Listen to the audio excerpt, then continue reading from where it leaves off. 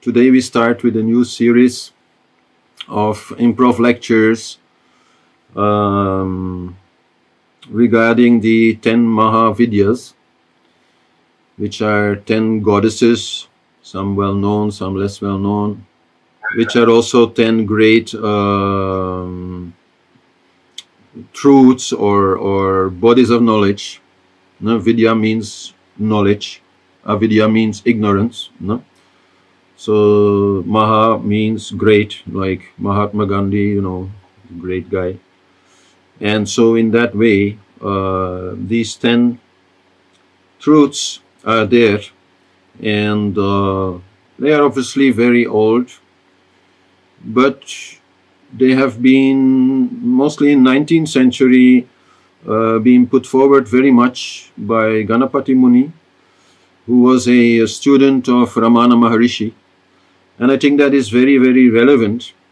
It is even said that uh, Ramana Maharishi wrote part of that story or dictated part of that story to Ganapati Muni. And some people will even say like actually this book is from Ramana Maharishi, but he did not want to like have it published in his own name because he did not want to confuse his students by bringing something else than what he was normally teaching, which is, you know, basic Advaita Vedanta, Jnana Yoga, Vichara, the uh, self-study, the self-observation. But so I like to start with that story because, yeah, that's really how it is. All these different approaches, all these different point of views, and all these different practices, they are really one. And this is also how they have been uh, practiced and experienced and discussed in uh, in India since thousands of years. And then, okay, when that story then came to to the West, you know, um, that then was simplified. You know? And then we get this one absolute truth of the self in Advaita Vedanta, the non-dual reality, that which never changes, that which always stays the same, is always in peace, is always in bliss. I don't think I have to explain this because this is very basic. So we kind of got served that, and of course, very logical in a way because it's the first truth, is the absolute truth, is the you know basis uh, of of yoga philosophy. But um, it does not stand on its own. And then definitely when we look into practice, it does not stand on its own. But also in our understanding of life, it does not stand on its own because next to this absolute truth, this, there are also many other truths which are just as absolute. Maybe not as uh, all-encompassing, you know, not as uh, great as that one truth of the self, which really holds all these other truths. They are more, you could say, manifested truths, but they are also absolute. Just like the self is absolute, they are absolute. And in that way, they are very interesting to study and enhance in this way our understanding of, of who we are and life and so on. But most of all, they also lead to certain practices which can, which can be uh, very beneficial to us and uh, help us forward to live a more fruitful life, a life, I would say, in Dharma, in harmony with everything, because we much better understand everything. No? In typical, I would say, Western style Advaita Vedanta, you're basically being told, just shut up, just don't want anything, don't desire anything, don't do anything, just stop and everything will be resolved. And this is of course true, but very hard to do. And in that way, these truths of the Mahavidyas actually give us some tools with which we can work more, more easily so that we can live more a harmonious life and have better progress on uh, the path of yoga because these 10 truths, these 10 bodies of knowledge are also at the same time 10 powers, 10, yeah, energies, you can say, which you can bring into your life and which will make it so much more easy to put the theory into practice. So we will look at that and uh, important also of course to mention is that these goddesses are not just symbolic, they are energies that exist, no? maybe not in the form that we make of it, no? Uh, but they are energies that exist, that are manifested directly from, you can say, oh, okay, cosmic consciousness, God, the absolute, whatever you want to name it. And in that way, they are also energies with which we can communicate, with which we can work together. And so then a lot of tantric practices come into view where we are doing certain rituals, we are, do, we are doing certain worship, so that this energy we can bring it into our lives, bring it into our bodies, bring it into our minds, and in that way live it much more uh, strongly than, let's say, when we are just thinking about it. And next to that, next to those, let's say, bhakti rituals, there are also uh, certain meditative practices which are related to it, which can also be very helpful. But so this as a general introduction to the Mahavidyas. You will, you know, get to know them one by one. Today we're starting with the first, which is Kali. And uh, there, now we will move further to Tara and the others. And each one has their own story, their own unique perspective, I would say, and their own way to to help us, you know, because that is why they are there. They are there to help us on the yogic path. You know? uh, in whichever you know life we are. We need all of them, but some people will more need Kali, and other people will more need uh, others. You know, like maybe if you're very old or very ill, you may need Dhumavati, for example. Or uh, if you are an artist, you need one more, and so these things then you know can be a little bit personal. And when it comes to Kali, I would say, especially as we grow older, Kali becomes more important. You know? Because Kali is dealing with the subject of death. You know? And in that way, the truth of Kali is the truth of eternity, the truth of eternal life, I would say, um, which is the truth that Kali brings. And uh, for those people who may not be uh, so much you know, like acquainted with Kali. Uh, I'm gonna try something new for the first time, sharing my screen and showing you Kali for those who have no uh, idea what she looks like. So I think now you should be seeing that. Can somebody say yes? Yes. Yes, okay, okay. So on one side of the screen, you see the goddess Kali with some of her helper energies. This is very typical also with Kali. She has an army of energies that are a little bit lower, of course, than Kali herself. They are kind of Shaktis, you know, and they are uh, helping her in her task, which uh, which is there. And um, typical uh, with Kali is this symbolism of death which you also find on the other side of the picture where you have the yantra of uh, Kali and you see the skulls and you see the crow and you see the uh, prairie dog and you see all kinds of uh, symbols, also blood and chopped off heads and things like that, which have to do with uh, death. So that makes Kali a little bit a frightening image? Uh, and in that way many people they don't really like Kali uh, are afraid of Kali. Well actually she is the one who teaches us that there is no need to be afraid there's no need to be afraid because of who she is. And who she is is life she is the life force and uh, she is standing there on uh, Shiva who is her, her husband her spouse um, she's standing on his body, no? And this, uh, okay, in, in the stories, there's many explanations about why this is there, but the most basic uh, symbolism of this is that Kali, as the life force, she is the one who brings the body uh, into life, no? who makes it alive. And so she's standing on it to show that she is totally above it, on top of it, know, uh, ruling it, and that without her, uh, even Shiva, he can do nothing. No? So, in that way, uh, Kali is very uh, very essential in, in the understanding of life. No? When we talk about the self, we can talk about the unmanifested. No? But the moment that we go into the manifested, then we need something more, right, to, to understand it. And so the first thing to understand here is the eternal nature of life. No? And that is Kali. She is the life force. She is in that way also uh, the prana. And uh, she is in that way also our mother, no? Who gives us life. No? She is often described as the, the mother in whose womb we are all born but at the same time, she is also the mother, let's say, um, who devours her own children in time. No?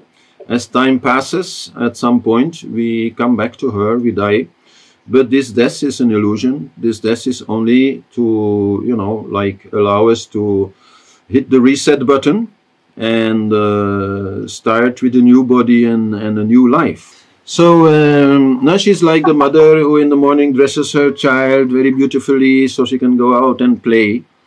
And then the child goes out with the friends and plays and gets into the mud and maybe through some, uh, I don't know, mock fighting, uh, some, you know, tear is there in the clothes. And so in the evening, you know, it's all done. And then, okay, the child is undressed, goes to sleep for a while then in the morning it wakes up and the mother gives a new dress, no?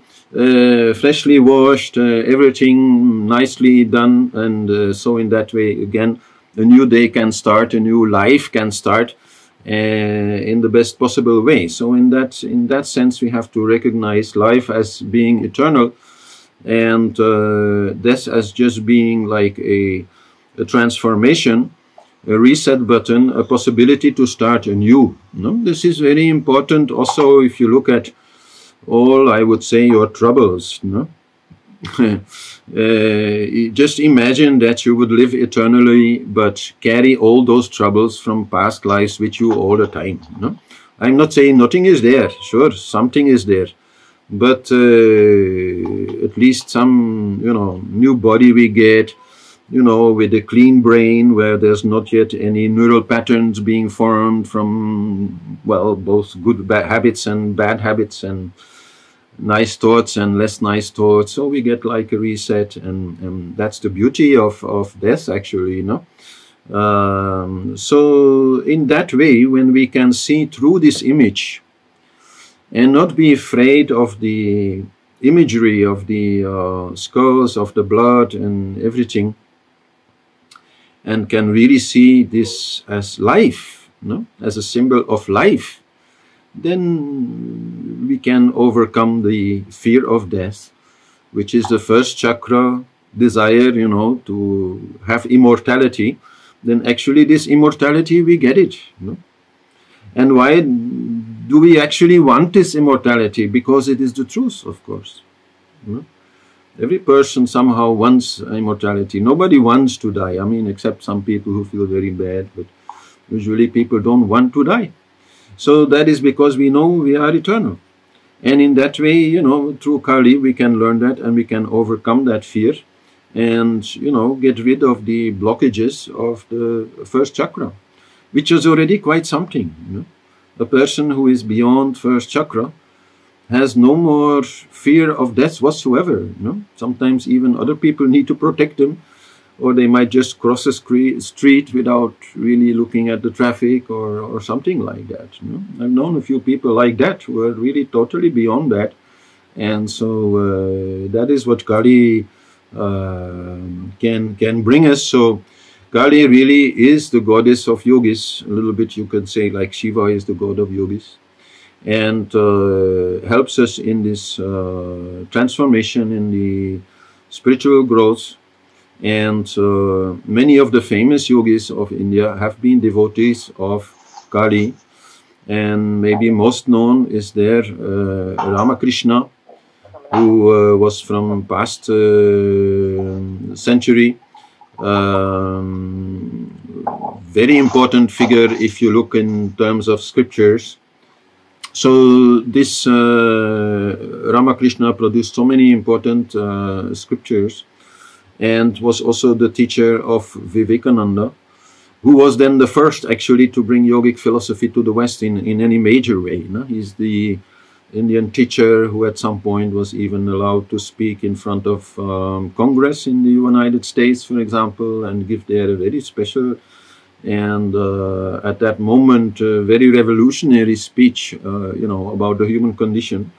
So all this uh, very important, and I'm not, I was not surprised, let's say, to hear that also Ramana, Papaji, uh, Nisargadatta Maharaj, all these people somehow had a connection to Kali, even though they were not bhaktis, they were jnanis, but still some bhakti towards Kali was there because Kali is teaching. No?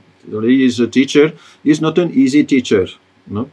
Uh, the one who worships Kali cannot expect life to be very easy and simple. No? If you want that, you have to worship Lakshmi or one of the other more Vishnu related deities. But uh, if you want to learn, if you want to grow, and especially also if you want to overcome some of the things inside of you, some of these blockages, some of these attachments, Kali is is uh, is the way to go. But with Kali, always there is a kind of a let's say sacrifice needed. No?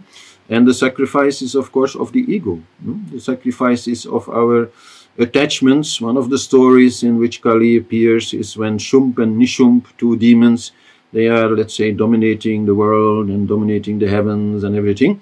And then she comes to, to defeat them. And they are two very basic uh, attachments uh, where we are forcefully, um, either forcefully taking something or forcefully removing something, pushing something away which we don't uh, like. You know? So she comes to defeat those, and uh, in that way she will uh, ask uh, from us also to defeat our own demons, to defeat our attachments, and to let to let go of them. Uh, and come to a state of non-attachment. You know? So it is very definitely what what Kali is teaching us. If she teaches us that we are eternal, that life is eternal, it does not mean that we can hang on to whatever it is we have in this moment, right? That's exactly, you know, what is then stopping us from seeing this truth. If we get attached to this body, if we get attached to the things that we have, if we get attached to our relationships, if we get attached to our jobs and our titles and all these things, then uh, obviously, yeah, there's no letting go, there's no detachment, there's no growth, and there's definitely no view of eternal life. No? It, the view of eternal life only comes when we start paying a little bit more uh, attention to you know who we are as an individual and become very flexible in that. You know? So it's very much to do with uh, with the ego and. Um, for me as a healer, Kali also is very important. I'll explain a little bit more about that. But I can definitely say that when I wrote this little book called uh, Love Your Ego, that this was very much in response to the teachings of, of Kali. You know? Because there's a very big difference between loving yourself as an individual, not just as the cosmic self or something like that, but as an individual, as you are today, but at the same time, uh, accepting, totally accepting the impermanence of yourself as an individual being, as you are here and now in, in, in this world, with what you have and with what you don't have. That is something that really we have to be able to, to let go and not start um, claiming anything, you know, and not start holding on to anything, uh, but still, you know, as compassionately maybe as we try to love others, to also love ourselves with the same unconditional love, with the same compassion, and uh, be detached, you know, from those things uh, to which we tend to attach. I mean, the tension, the tendency to attach is very natural. That's also I explain in the book. It's very natural. But at the same time, we have to be aware of it, that it only brings us suffering. Because the nature of time is that everything always changes. So something which comes, it has to go. Whether today or tomorrow or in one year or in 50 years, it has to go. So in that way, whatever attachment we have there, it will only bring us pain. So to avoid that pain, we try to remain detached, while at the same time being fully involved with whatever it is we are doing, being fully, let's say, into the role that we are playing, whether we are teaching or being a father or a mother or a cook or whatever it is that we are doing, we are fully attached, let's say, there to that moment to, you know, trying to make the best of it, make the best possible apples. You remember maybe the story about the apple tree and the mango tree. Um, but uh, yeah, accepting maybe okay next life is then the mango tree or maybe it's just a pine tree not getting attached to what is here now in in in this moment not attached to our partner not attached you know in in all these ways while at the same time being you know the best possible partner and making that uh, love relationship uh, as as as great as as possible you know because that's what what life is for no is definitely uh, clear in in uh, when we talk about Kali that she is not the the person who is going to tell you, oh, you have to give up on life. No, she is life. She is bringing life. No, she is the life force. She is making all this theater possible. No, but at the same time, she teaches you, okay, enjoy it, but don't get attached. No, and this this has so many different uh, aspects uh, also in, for example, how I like work with myself as as a teacher. You know, uh, I'm very careful not to get attached to any of that. Also, no? so I mean, no fancy dresses, uh, no different name. No, many teachers they have um, some nice sounding, spiritually sounding name. Right? no, I never will do that. I never want to do that because that's just creating one more problem. then that's another thing I have to let go. So no, no, no, no, uh, no Maha this or Master that. You know, that's uh, very important to me. People think when I say that or when I do that, people think I'm very humble, but actually I'm not humble at all. Know? That's also not what Kali will try to teach you. Kali is very powerful very strong. So also through the healings, the kind of energy I get is very strong because I have to defeat something, you know, which is creating problems. So in that way, uh, I am very far from humble, but I'm very careful. There's a difference, you know. I am quite confident about who I am and who I am not, and what I can do and what I cannot do, and what I know and what I don't know. I, you know, uh, no question but I don't attach to it. It's very important. You know, a person who today attaches to being, let's say, wise, might get Alzheimer no? later in life. Then what problem will that give? No? A person who today is very good in yoga asana, you know, can do very special postures. If that person, you know, nothing wrong with being able to do that. Very great, you know, great. But getting attached to that is a danger. It's not careful because you don't know what's going to happen. Maybe, uh, you know, you get some kind of disease, you become very weak, and, and you can't do all these things anymore. Then who are you? If you want these things to be taught to us in a way that is, you know, like relatively uh, easy to handle, then we have to be careful in, in our attachment. So that is really what, what Kali is, is teaching us with a lot of love, but also with clarity, with very clear images. You know, one of these skulls that is hanging around your head, that's yours, you know. That's your skull which is hanging there, she's showing you. So this is part of, of the practice to not be attached and see the impermanence of everything. And I would even say, enjoy the impermanence of everything. because, you know, every job that we have, everything that we can do, in a way, is also like a burden, right? It's like an obligation. Yeah, if, if you're a good teacher, then people come to you for advice. It's like a burden also. It's a job. No? Or you're a healer, people come to you with all their problems. Uh, it's a, it's a job. So the impermanence of things is such a great thing actually. No? Because you can do something, but you're not bound by it. You can stop it whenever you want. No? You can just evolve and, and become something else. And that is also so important in that story that if you understand the impermanence of everything, that you also allow yourself to evolve. The people who think they are wise, the people who think they are, let's say, uh, great teachers, uh, they usually they stop evolving.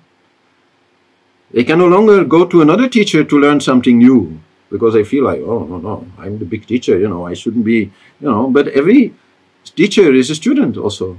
Every teacher has a teacher, or more than one teacher. So in that way, you know, looking at yourself as something which is always evolving, and in that way impermanent, you know, makes for a, a great life story. Makes life very interesting you know, you don't get bored in, in, in that way. Whichever, you know, stage you are in or phase you are in or age you have, always something new is waiting around the corner, as long as you don't get attached to what you already have. As, you, as long as you are willing to drop that and look what's behind the corner. Know? So in that way, I think Kali is great. And uh, the working uh, with, with Kali um, will give you a very different perspective on life and yourself and your desires also. Because being so much connected to death and life and reincarnation, and in that way also the spiritual world and your own, you know, uh, spiritual journey, in that way also she makes everything very calm. You know? This is one of the things which for me personally has been the most beneficial of my healing work.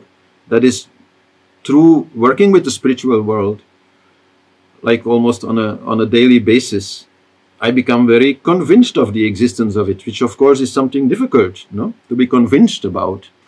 Because, yeah, you can't see it, you can touch it, you can, you know, there's, there's, it's something beyond uh, the senses, no? So, but I remember some time ago,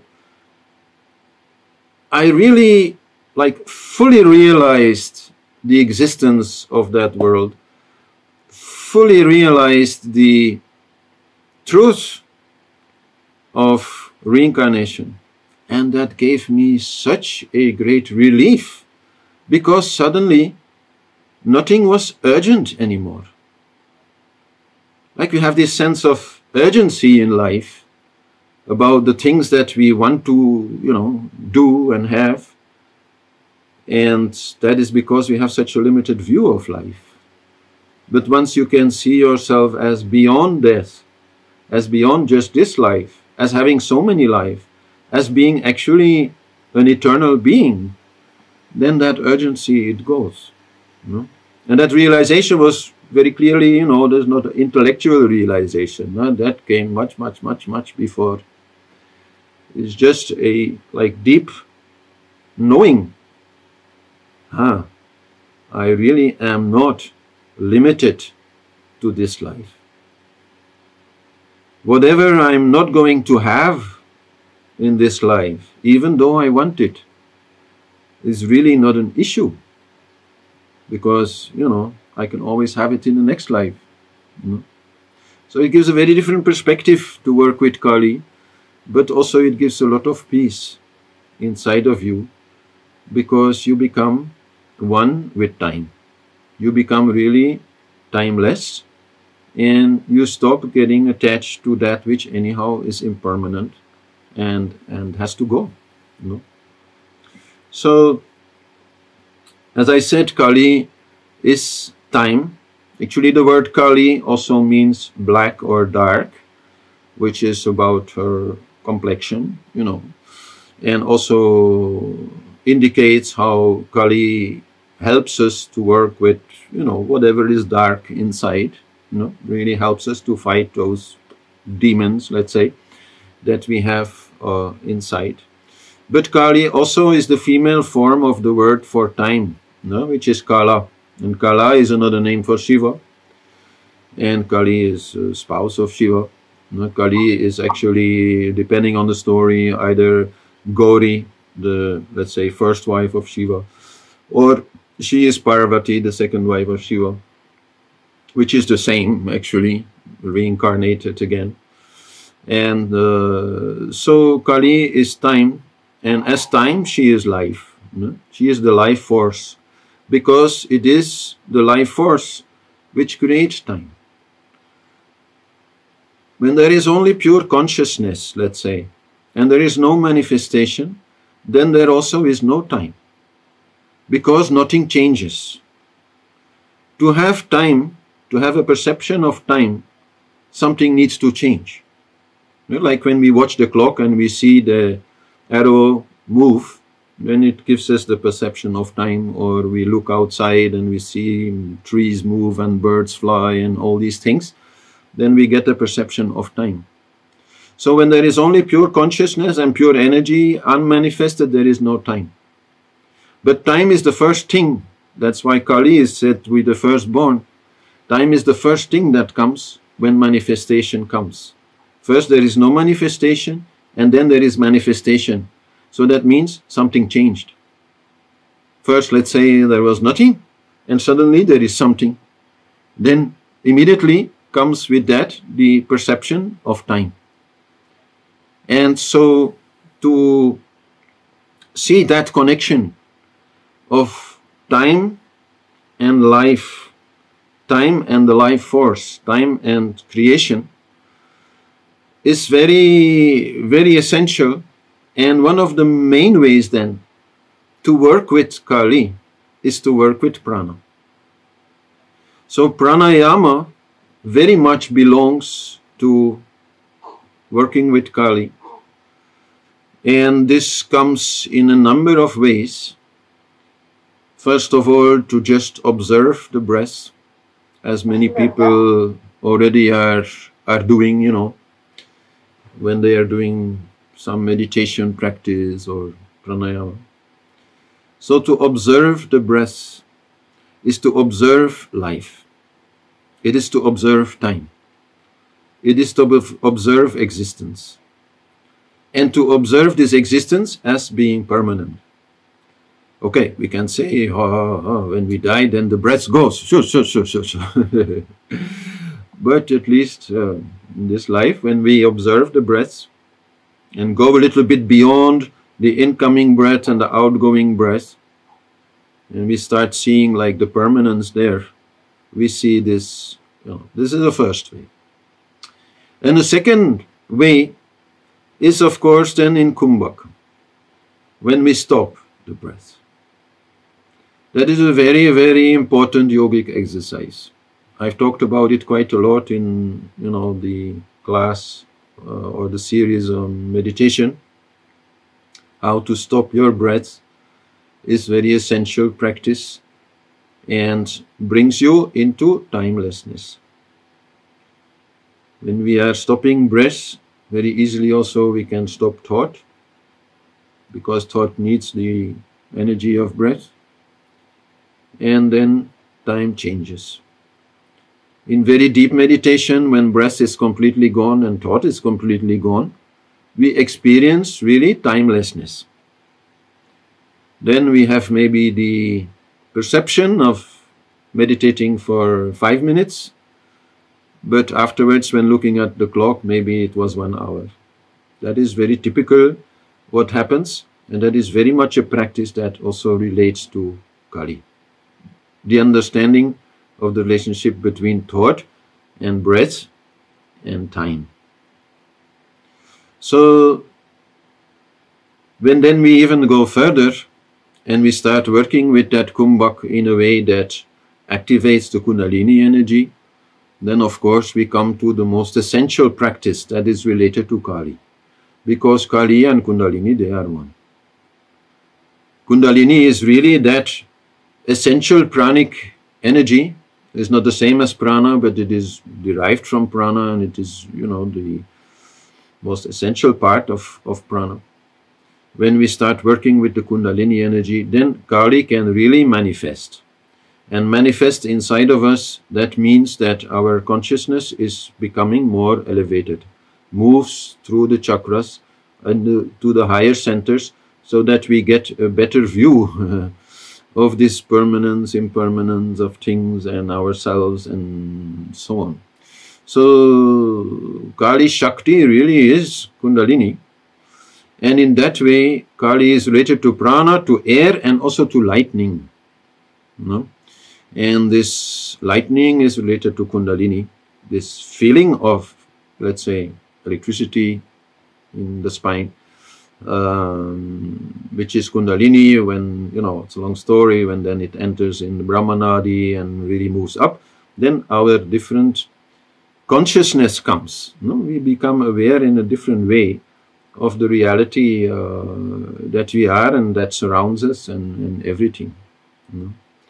So very much also related to Kali worship and to sadhanas that relate to Kali is working with Kundalini and also this um, shaking of the body because of the power of this lightning that comes, you know, which brings you into a higher state of consciousness.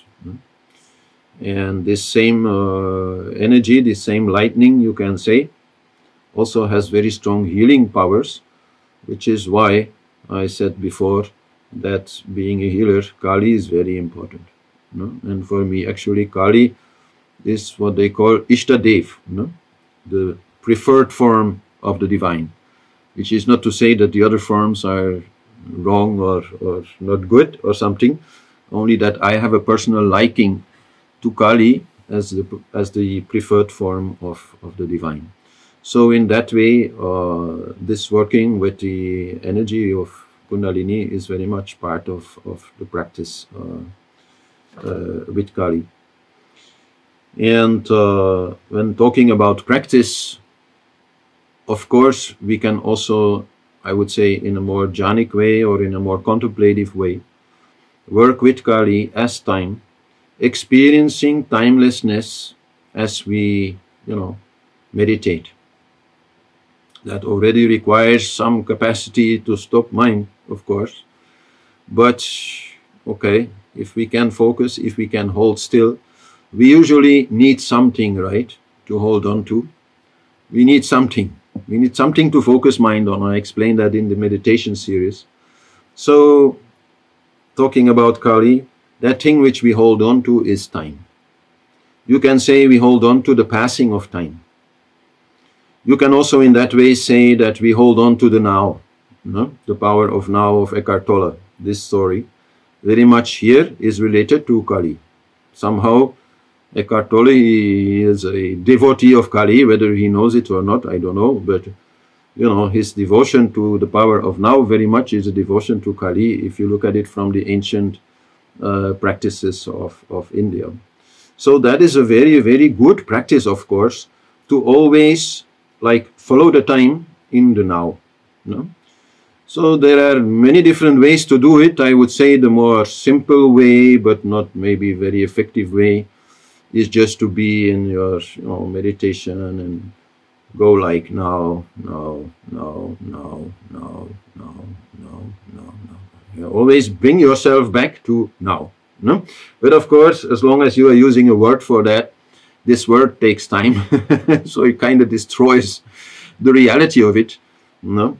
Uh, but okay, it can be a way to start, it can be a way to work with it, to follow time, uh, like more in terms of pieces of time, no? which then we call seconds. Uh, and so now, now, now, now, now, now, now. This is a very, uh, well, very much uh, possible not to do.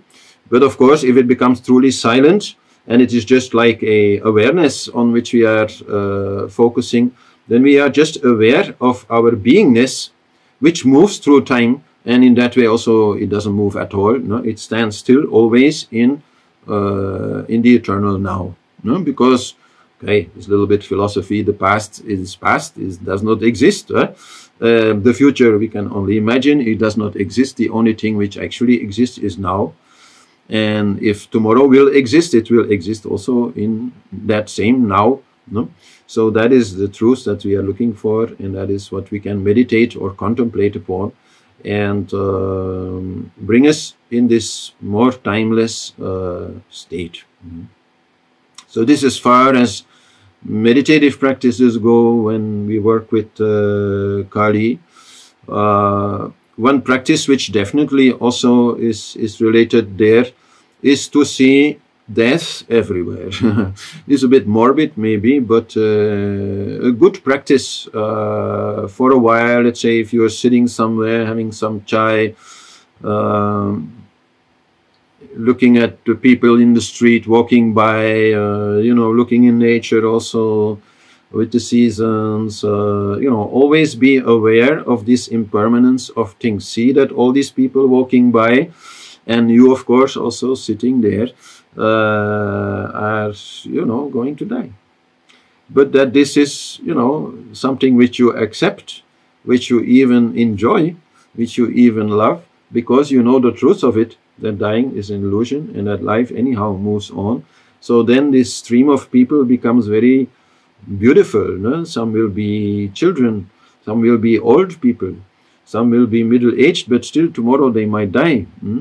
So to see that and to see this as an illusion, no? the idea is not to be uh, even more afraid of death than, than we naturally already are. No? The idea is that you are there observing the world around you and seeing the truth of it and accept that this, let's say, a little bit terrible part of it, the frightening part of it, the ugly part of it, is actually nothing real. And that it is, you know, very beautiful to see, like if we are walking in a forest in the autumn time and we see all these leaves lying down on the floor in all these colors that they then have. We also don't feel like, oh, you know, how sad all these leaves, they are dying. Because we know in springtime new leaves will come. Hmm? But so when we look outside to people and life, we should see the same thing. That whatever dies, it will come back anyway. In some other form, which then also, like for the leaves, you know, allows a fresh start. Like just imagine a leaf which lasts forever but meanwhile, some animals may have, you know, eaten part of it, and some birds may have shit on it, or you know, in different ways it becomes, you know, used. And uh, so, no, no. Then at the end of uh, summer, beginning of autumn, the, the tree it can drop them and start with these beautiful, fresh, new leaves in springtime. So, same way for us. You know? In that way, Kali is like the tree, you know, and she is always bringing, you know, this renewal, this transformation that uh, that is life. Life and death they go together, but life is the truth. Death is the illusion. That is the main thing to understand. And that is the main, uh, how should I say, uh, Mahavidya of Kali. And this truth is absolute, as absolute as the truth of the self. When we look at how Vedic philosophy sees this, like from a universal point of view, then sure at some point, right, comes Shiva and he dances his Tandava dance and the whole universe goes up in flames. No? So then we can say, oh, but, you know, then there is an end. But the story goes on. That only happens to allow a new universe to come. First, there is some period of rest, and then again manifestation comes. So it never stops. So that is a absolute truth. As absolute as the truth of the self, as absolute as the peace of the self, which is there in life. So if you can see this truth, we can see through that veil of death, if you can see Kali, the life force, from the beginning of time till the end of time, which does not exist, I mean, timeless, then perception totally changes, right? And your outlook on life will totally change. And then using the practices will also make it possible to live that change because it goes a little bit against our nature because we so easily believe in the illusion of death and pain and let's say forced detachments that seem part of nature. We have to let go of this one who died. We have to let go of that one who just left. These things are, you know, life. Whatever comes has to go. Only for something else to come instead. So, in that way, we get peace and timelessness and no urgency. Then it's so much easier to fulfill our desires only like when the opportunity just comes naturally in Dharma and we don't have to force anything. And can in that way then also fully enjoy it while fulfilling a desire where it is forced, where it is, let's say, stolen, is never very rewarding, right? Always has like a bad taste to it. So, in that way, we become more calm, more happy, definitely, and truly timeless.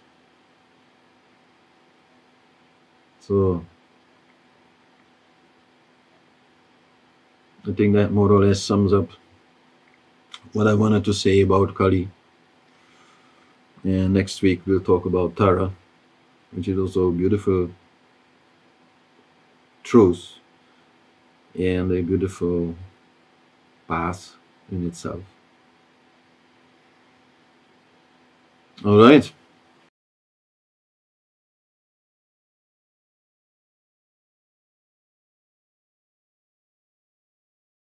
It rests upon a wrong understanding of the nature of suffering.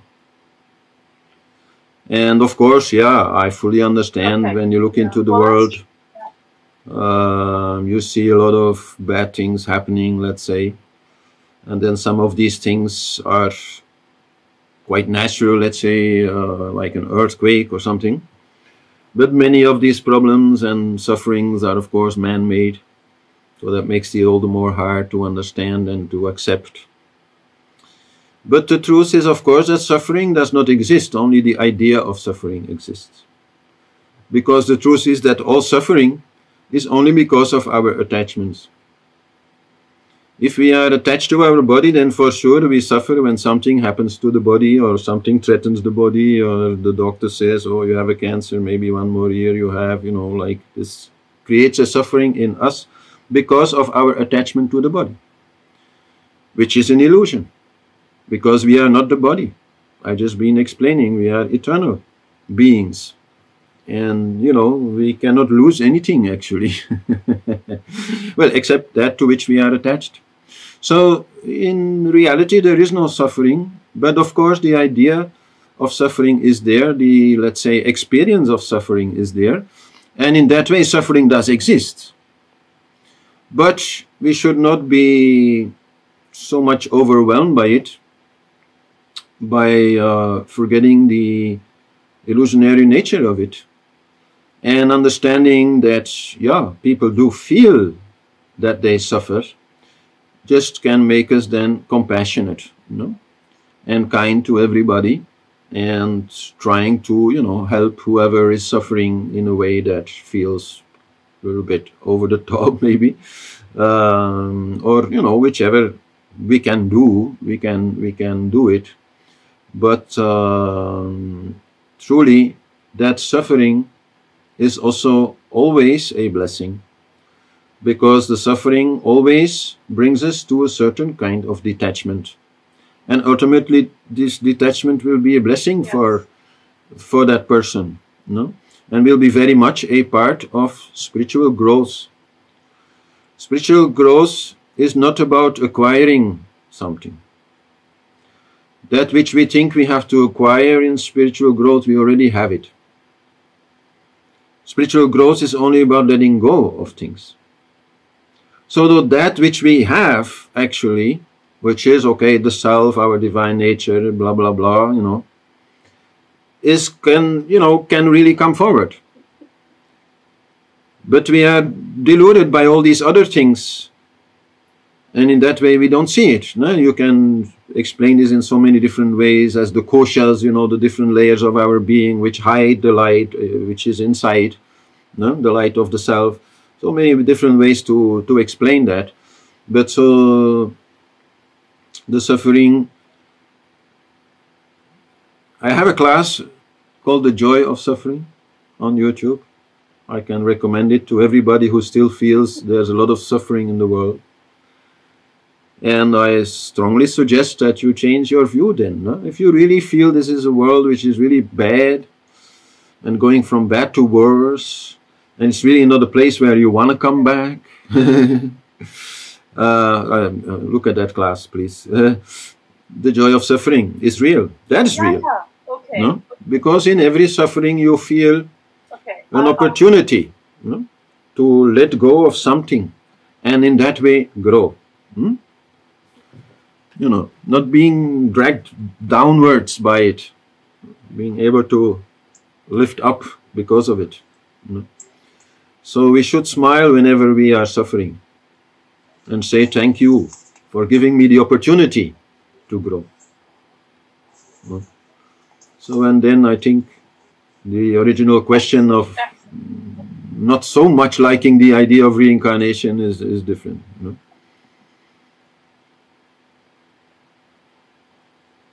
Anyhow, we reincarnate because we want to. no? We are all here because we wanted to. Maybe not such conscious process as we are used to, you know, doing and deciding things. That is true. No? The soul which decides to reincarnate is not, not making a rational decision because for that you need a brain. No? It's more a power inside that soul, a desire inside that soul, which brings it back to, to earth, you can say in a more subconscious way. But still, those desires are yours. No? Those desires live inside of us, and they are the ones who brought us back. So we should not complain of being here. We came here. No? And we are free to go any day, yeah? That's also quite true. Not advisable to end it yourself, but still you have that freedom, you know. So uh, you are here because you want to be here. no? People who get into real trouble, like mentally, and they start thinking about suicide, it still takes a long time for them to reach that point, maybe where they can do that. Because precisely inside of them, the desire to be here is still very strong, even though they don't like it here. No? But still, that desire to be alive is very strong because that desire is Shakti. It is the life force. It is your prana. It is, you know, it is your everything. No? And so, in that way, um, truly, we are here because we want to, and whatever suffering is our own. No? It's our own uh, attachments that are making us suffer. And there also, again, we are free to let go or not. And if we don't want to let go, yeah, we'll suffer more. But sometimes we accept that. Like, you know, if you don't like suffering, why would you ever fall in love with somebody or something? Because that somebody or something, anyhow, it will go one day. So suffering is part of the deal. No? They should write that maybe in a marriage contract. Suffering is part of the deal. yeah. But we still do it because we want to. It's like children. when they play a game, maybe they also hurt themselves. Like some games, like let's say soccer. If you play soccer, okay, you fall, you, you know, you hurt yourself. Still, they want to play. If they lose the game, they suffer because they lost. And sometimes that may create in a child like, oh, I don't want to play anymore. But the next week, the other kids want to play. Oh, yeah, yeah, yeah, I want to play. That's how we are. It's a little bit silly in a way. But, yeah, whenever you feel in the complaining mood, think about this. You know? The suffering is your own and you're free to go. You're free to let go. Whether it is of this life, or whether it is of that thing, or that person, or that name, or that ability to which you have been attached.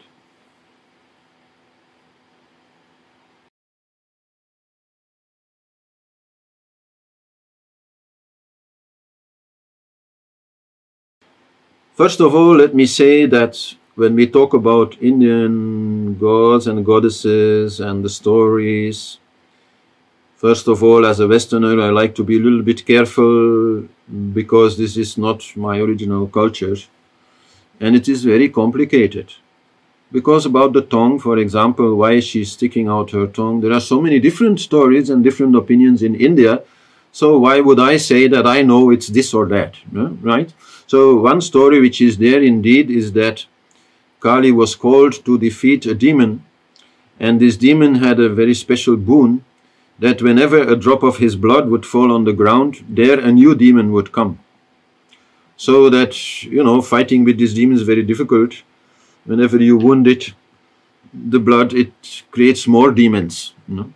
So then Kali was called and she was sucking up all the blood from the ground and also out of the body of that demon until finally he died.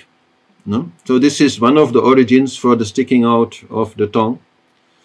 Another explanation for it is that in a story she is also fighting with demons and she's fighting very passionately and becomes in that way a little bit crazy you can say and uh, accidentally or not again many stories exist uh, she steps on Shiva, no? showing that same picture then of, of uh, Kali standing on Shiva.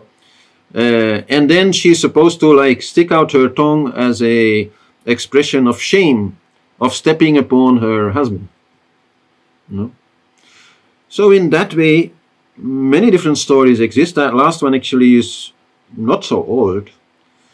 Uh, trying, if I may say so, but very carefully, uh, trying to somewhat reduce that quite feminist look of Kali into something a little more um, nice. So this is usually seen as a little bit, how you say that, patriarchal uh, view on, on Kali the way it has been explained to me by Harish Johari, because it's of course a very uh, typical feature, is that in sticking out her tongue, she is laughing. And she is laughing because she is showing us all these symbols of death. And she is laughing to say, hey, look beyond it. You know? And uh, don't get fooled by it. And I'm your mother and I love you and life is eternal. Hmm? But so that's just one view, many different views are there why she has that. And definitely that tongue as a weapon no, to like defeat this demon by sucking up his blood or licking up his blood is definitely the oldest story that I have seen.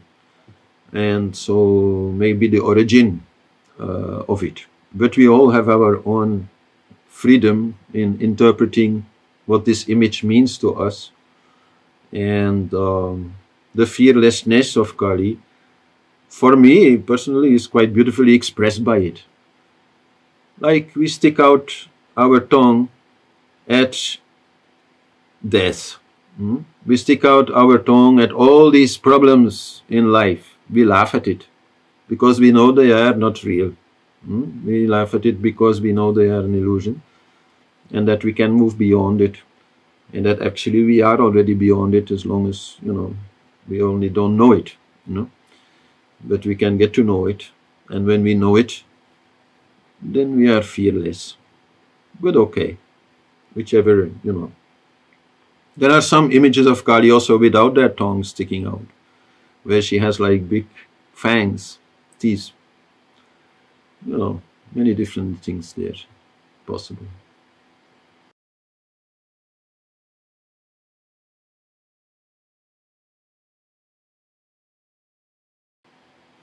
Yeah, well, Kali is not consciousness, that is usually associated more with Shiva. No? She is the primary energy, the life force, uh, which is the other side of consciousness. No? I've explained this in many classes, that consciousness does not exist all by itself. Consciousness exists by the energy. And so in unmanifested form, uh, the energy then does not change, no? Is totally pure, is totally ananda also, is totally in bliss, no? Unchanging, as is pure consciousness, and they are two sides of the same coin. So the ultimate truth, which you can call God or the self, is actually energized consciousness or a kind of conscious energy it's very hard for us to find a word that kind of brings these two very essential aspects together. You know? And then we just find a nonsensical word like God or the self or something, which actually says nothing at all. But is still, yeah, then an accepted term for that which is beyond what which can be described. When I say, oh, the ultimate truth is conscious energy or energized consciousness, I'm stuck in my concepts uh, for something which is actually totally beyond words and beyond concepts. No.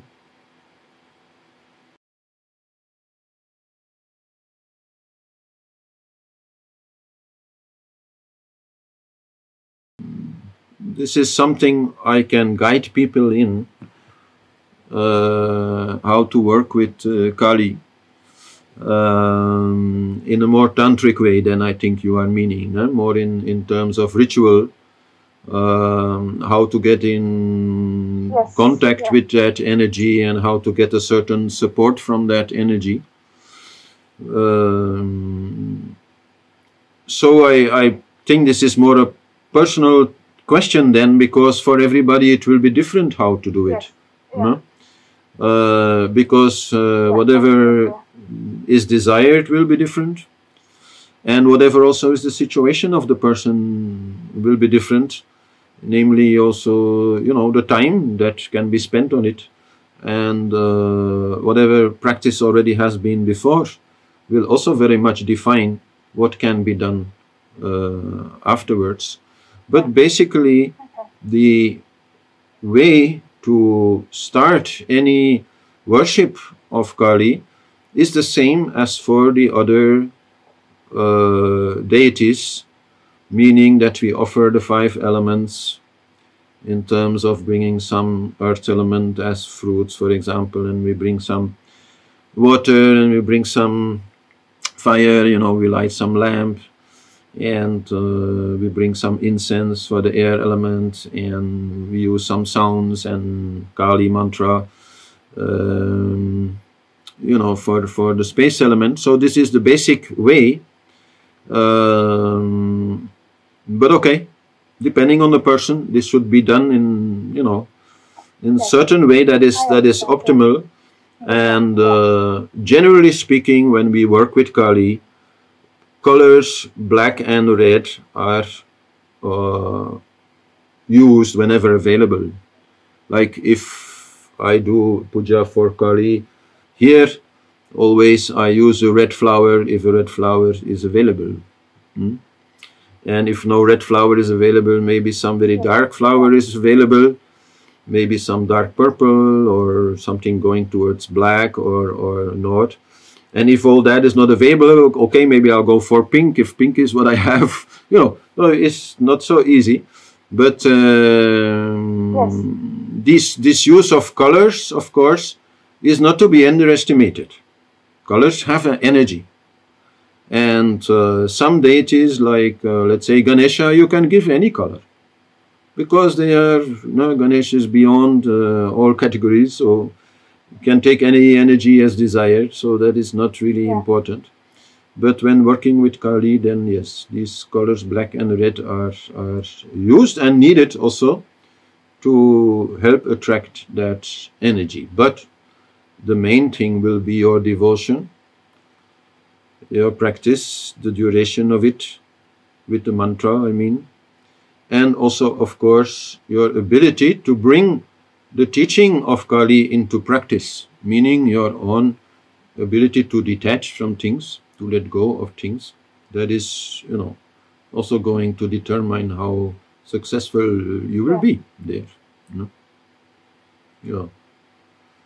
Maybe a good moment also to say in that that um, working with Kali is advisable to anybody who has issue or a main issue with fear, who is worrying too much, and certainly if this worrying also is about health, then working with Kali can be very, very um, efficient to do.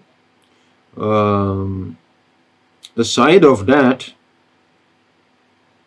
to choose working with Kali at a young age is generally not advised um, unless you know there are specific reasons. Um, and also very generally speaking it is advised that a lady will more work with a male uh, figure let's say and uh, the male uh, sadhak will more work with a female form. To create a balance, this is not an absolute rule or anything, huh? and definitely not something which is pushing you, uh, you know, in any kind of dominance, but um, this is natural way uh, is seen. So, uh, for ladies in general, if you want to go in that direction, let's say, Shiva and different forms of Shiva, like also Mahakala, which is the you know male counterpart of Kali, maybe less known, is very um, very logical. I also say this because Kali, I think, among the ladies, is quite a popular figure because she has this power, she has this strength, she has this passion, and so I can very much imagine that and ladies like to also like bring this energy inside of them so that they feel a bit more strong uh, themselves but at the same time it's not very usual to do that as a lady except at a certain age maybe where anyhow Kali and Shiva they become very uh, logical to work with no? as we are nearing death as we are preparing us uh, ourselves for for death this is very logical to do but anyway, uh, I can help anyone who wants to go a little bit more in detail there. But it is, it must be personalized. This is not something you can just say, oh, like this, for everybody, same thing. That's really not how it is done.